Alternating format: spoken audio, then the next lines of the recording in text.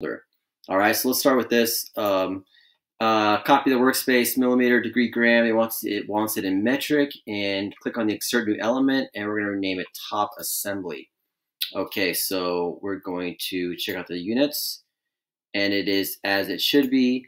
And um, let me get rid of these tools, and we're going to insert a new assembly, and this is going to be called insert new element top assembly. Okay right click on it and we're going to rename it top assembly. All right, great. Okay, so that's how you insert a new element. And notice all your parts are down here.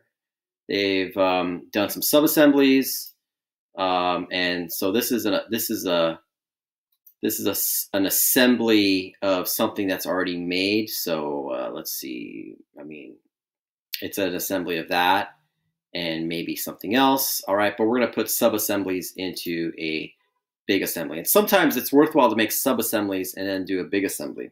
All right. All right, so let's see what tells us to do here. Um, insert the boom sub-assembly into the top assembly just created. The sub-assembly is already located with the same document.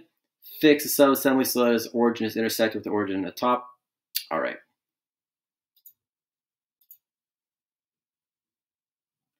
And I believe this one is a sub-assembly. It's the boom sub-assembly, so I'm going to click on that. You got the parts and that. Now, if I move it around, I want it locked with the origin, so I'm just going to click the green check mark here, and it'll lock it with the origin. I'll also right-click and click Fix, so this one, I'm not sure if this is one I want to fix. I can unfix it later. Fix means it's not going to move. Okay, I can't move it around. All right. Okay, and let's go to the next one here. Insert the brace subassembly.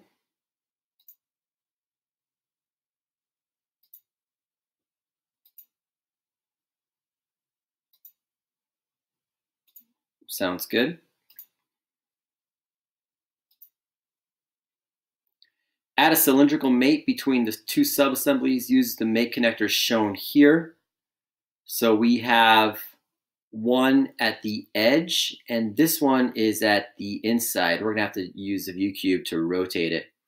And be sure to solve if like things come apart. All right, so we're gonna do the cylindrical mate. Okay, so cylindrical mate, slider mate. There we go. And this one, use the power of zoom here, folks. So you got three options one all the way on this face in the middle and all the way in the back. We're going to use that one. Zoom out. I'm going to double click on my scroll wheel. Then I'm going to use the view cube to get around here. And this one is, if you look carefully, it's at the edge right there. All right. And then notice that it can't part, so we're going to click the solve here. And boom. like that. Let's do isometric. Okay, let's check out on the isometric. Um, and it looks like that.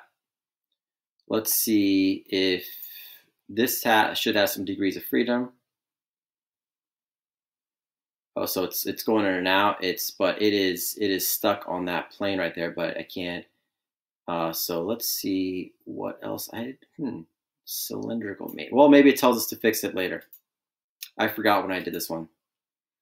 Uh, to restrict move the sub-assemblies, check the limit checkbox and enter the following minimum. Okay, so that's gonna help us out. All right, I'm gonna move this over to my other screen so I can see it. And uh, it's okay, we can, we clicked out of the box, but we can always click in it by clicking edit. All right, uh, and so we're gonna click some limits here. And the Z is the blue direction, all right? Uh, and it seems like in the Z the minimum it says is zero. And zero in this direction. And we don't want it to rotate from the Z direction, zero in that. And this one is, I'm not sure what this is, but that one's also zero. Okay, press enter. And then let's see that works. Great. Now let's see if we can pull it out, and we can't. This, though, should go up and down. Okay, that goes up and down. Very cool. All right, next up, we got insert the fastener subassembly. All right, so that's that little piece right there.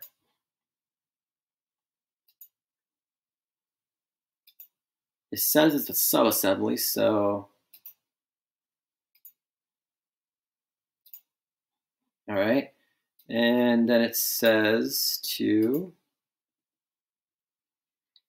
add the fastener to the hole, use and mate connectors centered on the bottom face of the washer. I guess there's a washer there. Okay, a washer is like a round ring.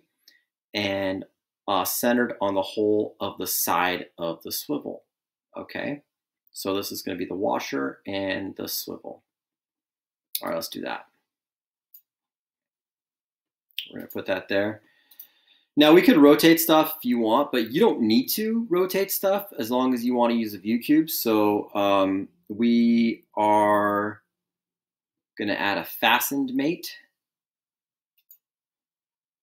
Okay, and then we are going to do the one at the end, it says, and then this is a bolt, and then this is the washer right here.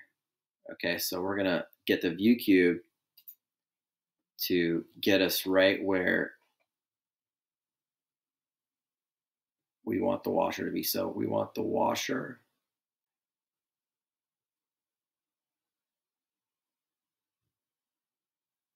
I believe we want it right. now. we want the washer Okay, now the washer is stuck there and it looks right. Okay, we're gonna click solve to move the bolt over there. And ta-da, great. Double click on your scroll wheel, see the whole part. All right, terrific. Let's click out of that.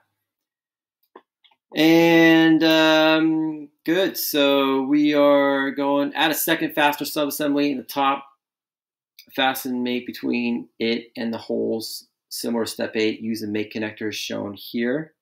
All right, I believe it's the same mate connectors as the last one, so, okay.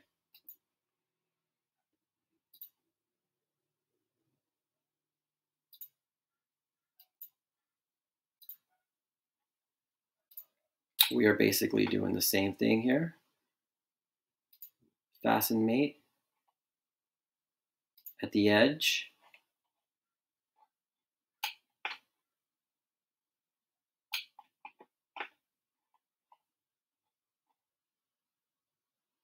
So if we did that, that would be middle. And that would be the other side. So we don't want middle, we want the edge right there of the washer. Let's click solve. I'm gonna double click the scroll wheel. And it gets me to where I wanna be. And notice that it's doing one of those numbers. Let's see if this will fix it right here. But it's still facing the other direction. All right. Okay, then I click solve again. So if I change the direction, click solve, it's gonna be sticking out. Notice that stuff can go inside the other CAD. This is not real life, right? A bolt wouldn't go inside, but if we flip it, so the other side of the washer, and then the bolt didn't flip, so we gotta click solve, and then it's good to go. All right, cool. Let's check out what's next here. Uh, insert the nut into the top assembly. And use a fasten mate to cap the end of the screw using the following mate connectors centered on the bottom face of the nut and the hole in the side of the brace. So it's pretty hard to see, but this is the outside and this is the flat part with the green here. So we'll we'll do that. And I believe we're doing it for both of them. So while I'm at it, I'm just going to insert two nuts on there. Okay, so they're going to have well, one here and one there. So I'm just going to insert two nuts on there and do it all at once. Okay, double click on your scroll wheel. Let's go isometric. Um, I don't think it matters if you put the bolt facing this way or then you know it doesn't doesn't really matter too much. So if you did it the other way, that's totally fine. And we're going to insert, this is a part only, it's only one part. So one,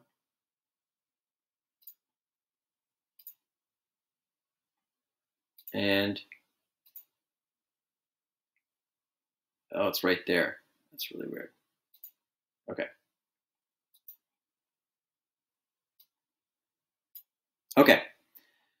So uh, let's go, let's take a look at this. Sometimes I actually like to have things um, uh, looking in opposite directions. So there's a little tip right here. I'm gonna double click on this and I'm gonna rotate this 90 degrees that way.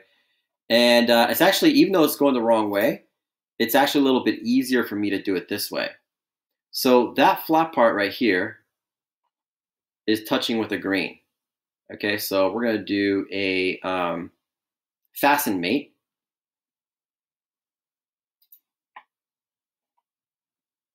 Okay, so that's the flat part. And we're gonna go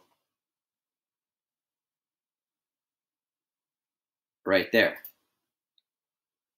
Okay, now it's facing the wrong way, okay, because I had rotated it. So we're just going to flip it like that and click OK. All right, looks good. Okay, make sure you're zooming in and out quite a bit. All right, we'll do the next one here.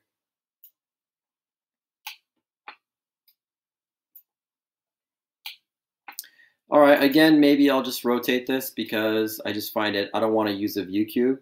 Doesn't really matter, but you know, you could use a view cube to move it around, but now I keep it in the same orientation and I can just do my, my mates right there. Let me double click out of that and we're gonna do a fasten mate.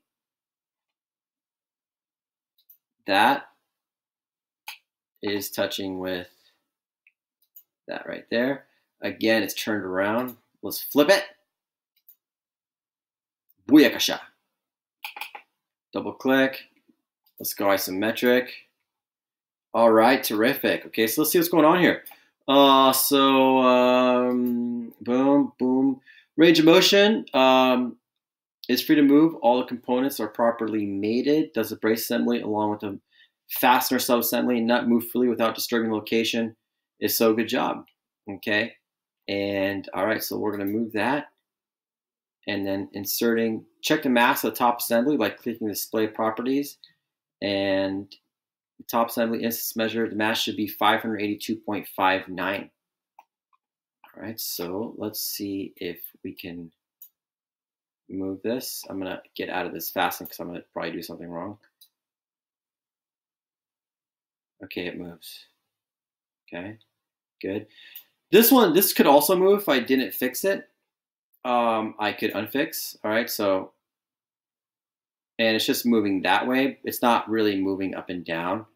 Uh, so I'm just gonna undo that because I kind of want it where it's at, and I'm just gonna leave it fixed. Okay. Um, let's check out the mass properties. And into system measure, let's just click top assembly here. Okay, so it's measuring everything. You could click on each one and this one has 582.59 grams. That's terrific. That is what we were going for. All right. And um, then they got a video. But come on, whose video do you like better, right? Mine or theirs? Put together a top level assembly Mine, right? Using different sub assemblies. Your favorite teacher? Who's this guy? I don't know. Who is this guy? To get started, I want to create. An All right, so that's all the video. Hopefully, um, that helps.